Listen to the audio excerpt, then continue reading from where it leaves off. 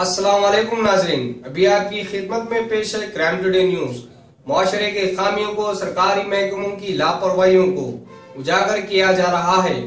میں Abdul Aziz crime today news Hyderabad. شہر حیدرآباد میلا دیو پولیس اسٹیشن حدود۔ ایس او ڈی پولیس نے ایک اطلاع ملنے پر کاٹیدان سپنا تھیٹر کے بیک سائڈ جوا کھیلنے والے سات افراد کو گرفتار کیا۔ ان کے پاس سے اڑتیس ہزار کی رقم اور سات سیل فون کو ضبط کیا۔ مزید تحقیقات کے لیے ان سات لوگوں کو میلا دیو پولیس اسٹیشن کے حوالے کر دیا گیا۔ شیخ رحمت علی کے ساتھ میں Mohammed Ibrahim crime today news Hyderabad.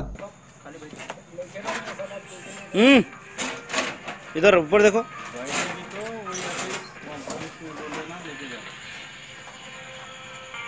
ہاں بھائی